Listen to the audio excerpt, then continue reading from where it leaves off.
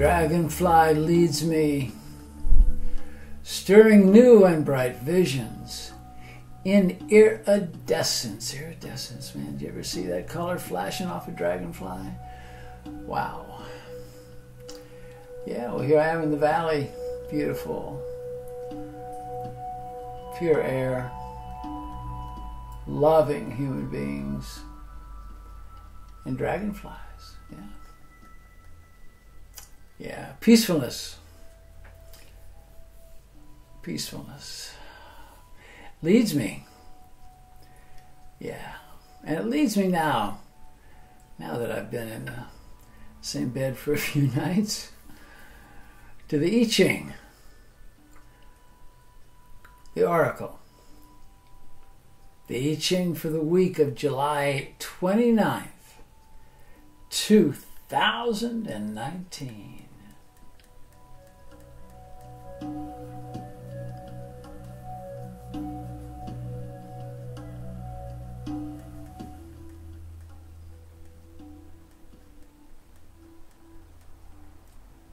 Number 35, Jin flourishing. Above is Li, radiance and fire, and below is Kun, the center of the earth, that on which everything rests. The wisdom this week great progress is on the horizon. Move into receptive stillness. You know what I'm talking about. Bring tribe and family together to serve together. Know this that light that is not shared will grow dim. Yeah. Yeah, we got to be help share our bounty.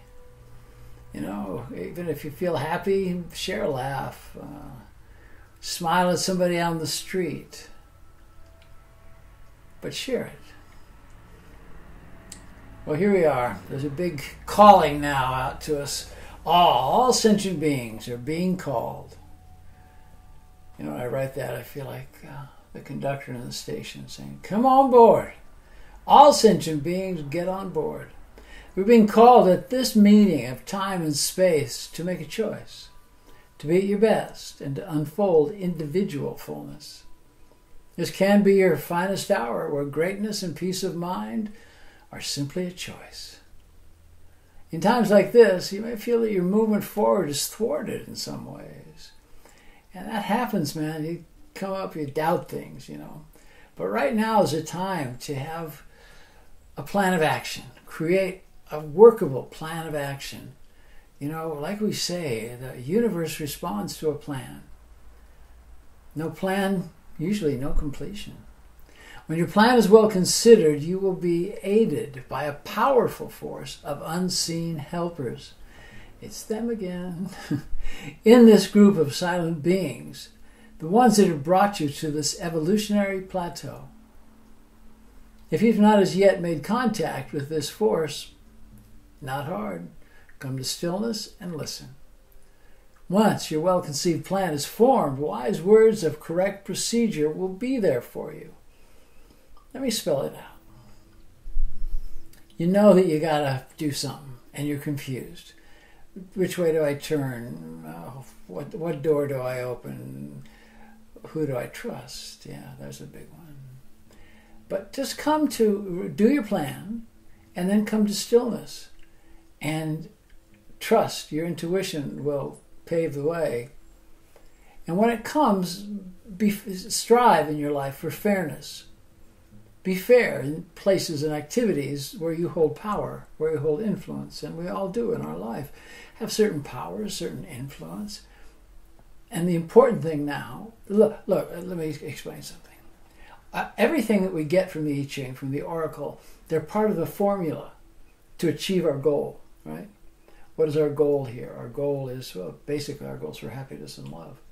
So in this particular gua, we're being given all the uh, ingredients, right? So Strive for fairness in places and activities where you hold power or influence. Honor those who work with you or for you. Hey, that's a big one. Or if you're solo in your career, honor the dancing spirit who comes as a muse to enliven, tease, and tickle your fancy. Hey, you know what? If you've got a muse in your life, recognize him, her. and uh, they, and open up to it. You know, let it happen and be grateful. This spirit is there, so you will make a relationship with this spirit, and it will soothe you, and it will bring you benefit to mind and to heart. This is a potent time of advancement. The benefit now is not to forget how you got here and who has your support. Recognize and give honor to the ones who have blazed the trail before you. You know, the ones who have taken that machete and knocked a place for you to walk comfortably through the forest. Be confident that you are gaining an abundance of power, of influence, of love, and prosperity. And when it comes, which it will, share it with your mentors, with your tribe, with your family, and in this way, you're signifying gratitude and you're not being influenced or distracted by ego. Ego. Egads, ego. Honor your mentors and your guides. Give them praise and give them honor. In this way, you're operating in the fullness of gratitude. Gratitude is catalytic in the alchemical mixture that delivers sentient beings from doubt, delivers sentient beings from fear and from darkness darkness of thoughts, darkness of being. Coming mercifully into your life now is a very clear and powerful energetic force. It's like a currency of sorts. So, if you look at it that way, spend your currency wisely. You know, don't give it all up in one place, but use it and use it to, to pave the way and, and to be guided by compassion as you examine patterns of behavior that are no longer useful.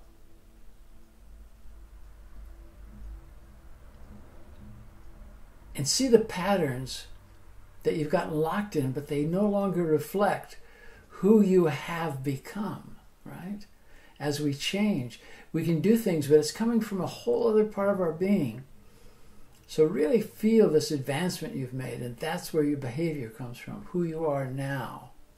It is now of great benefit to identify actions and people that no longer serve your highest good. With grace and compassion, release the ones that don't work with you for you. Release the patterns and do it in ceremony, do it in ritual. It's the way, it's the ancient way, you know, and make you can make ritual up. You can you know, have it be whatever you want it to be or look to the ancients and look to what's been around, but do ceremony and do ritual. Replace outworn negative patterns with positive actions, thoughts, and prayers. The words you think are more powerful than the words you say. Correct the words of the inner voice when it speaks negatively, when it's hurtful, or it seeks revenge. Ooh, careful of that one. Here you achieve inner stillness. That's crucial right now because it's in stillness where we hear and we're enlivened by intuitive wisdom. Consider your practice, whether it's meditation, writing, painting, hiking, tilling a garden, any activity that gets you out of your mind and free from the voice of judgment. What is being presented to you now is fresh and it's new, and it's imbuing you with confidence and with strength.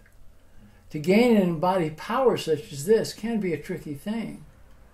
In light of correct behavior and thinking, you're going to be called to make sacrifice. Make sacrifice. Let go of old habits, sacrifice them. Let go of friends or associates who've turned their back on you or beginning to decompose and have a virtual or a real bad smell. You know, sometimes really your your your sense of smell will tell you things. Give proportions of your abundance, give portions of abundance to those who need it, and speak up on behalf of those who are powerless.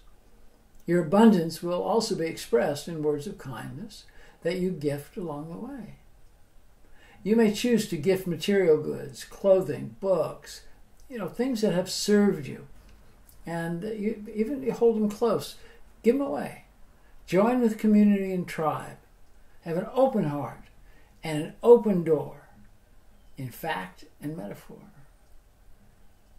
Trust this that you are in the right place at the right time.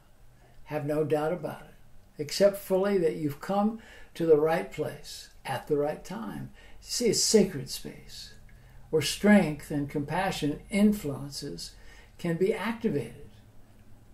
Moving in this manner with humility will please Spirit and will open doors that have previously been closed and unseen.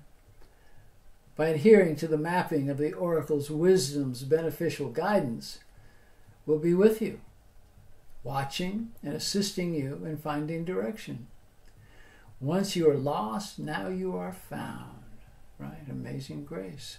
The joyous dancing spirit has led you out of darkness and into the light, have no doubt. Right now, this flourishing bloom of contentment and abundance is the emotional alchemical mix opening a bountiful journey for you, for family, for tribe, for community. Be aware that on this road less traveled, you will be met by difficulties and obstacles. Look, this is the natural order of growth, of spiritual growth, emotional growth, financial growth, all of it. If you if you're in the in it, you're going to be met with challenges.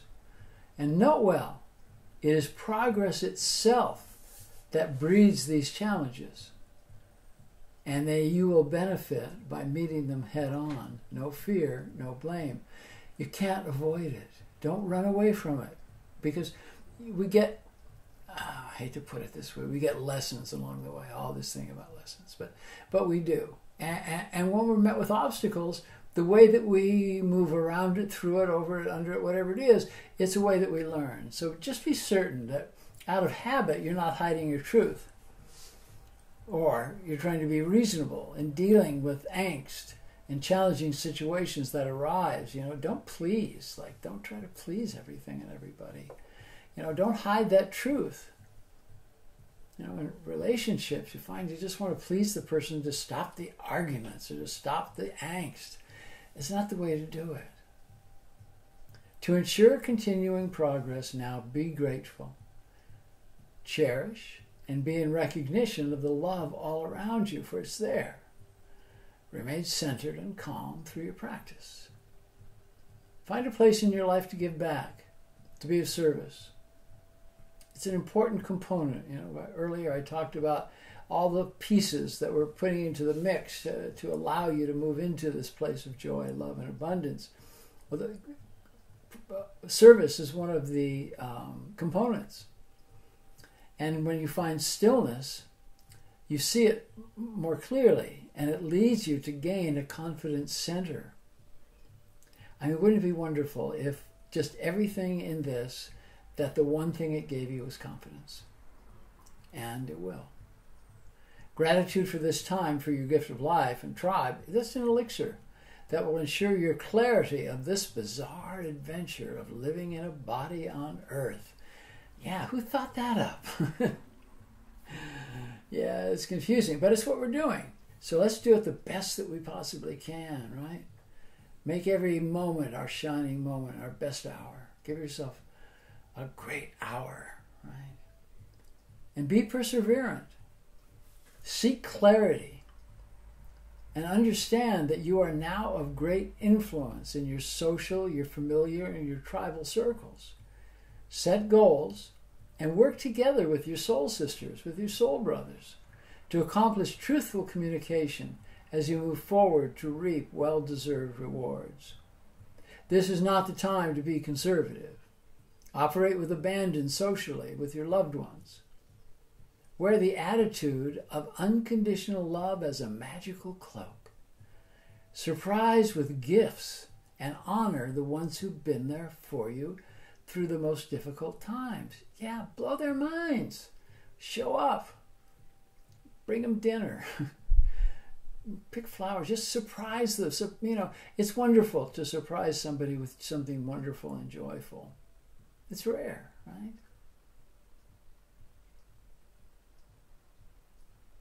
Plan a fiesta.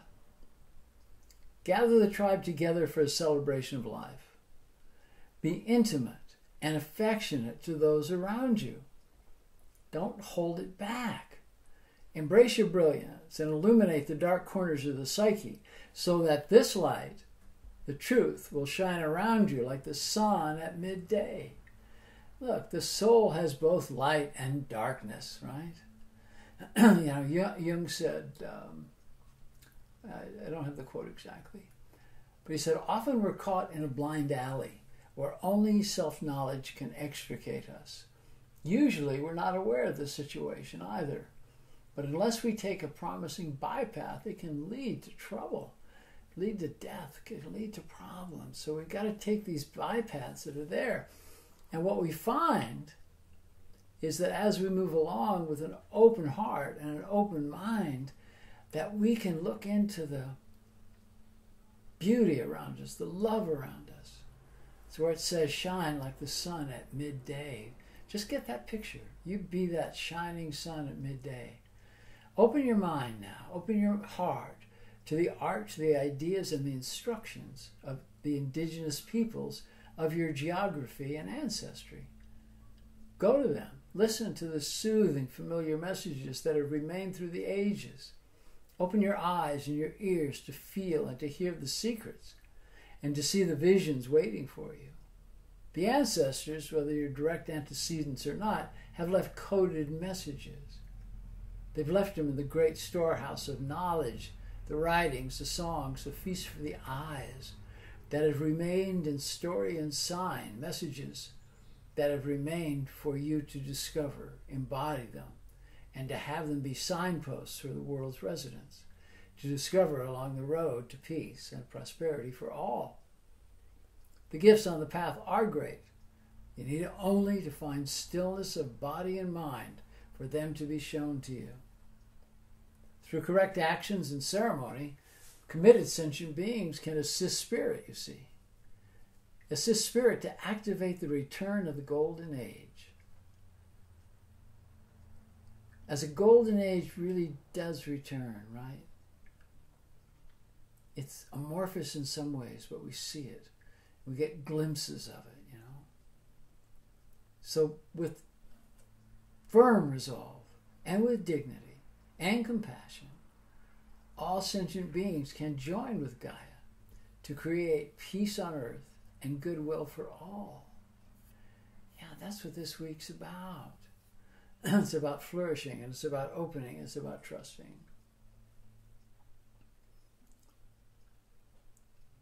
So as we go through these incredible weather changes, right? The heat, the cold, the melting. We got to stay on our center and do just every little thing that we can do to make things better. Don't give up. Just don't give up. Love the ones around you and teach the children well. That's important, you know, as we teach the children well. Mainly just by being who we are, being a good person. That's part of it, you see. That's the part of, of, of teaching. By example, by being a good person, by being a whole human being. That's very, very, very, very important. That that's how you open up the doors to truly to flourish. So I'm living clo- fairly close to New York. I'll be working there in um, October, October 11th, 12th, 13th. I'm going to do a retreat at Menla, uh, incredible place in Phoenicia. I think it's Phoenicia, New York, and it's beautiful. And so many beautiful things have gone on there. His Holiness has visited there and taught there, and many people. So I feel great honor to be invited into that space, and I hope that you'll join me there. Uh, the details will be coming out in the next few weeks about signing up um, not there, but I just am so excited. I want to talk about it. Uh, and there'll be more things coming up now that I'm really kind of getting rooted in uh, back in America. I send you as much love as I can possibly muster from here at about the 42nd parallel. Sending my love to my brothers and sisters back in Tulum, where I was for almost nine years to my brothers and sisters in Los Angeles, now New York, and now Hudson Valley. Dear ones, let love surround you. That's my wish for you.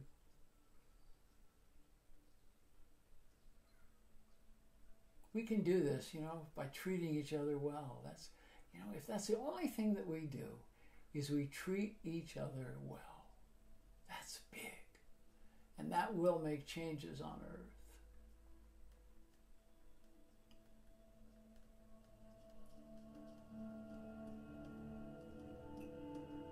So, I'm going to take off on this magic carpet.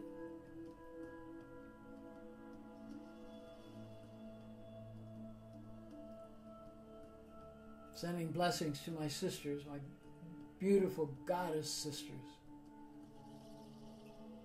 my brothers, my brothers of heroic force and love.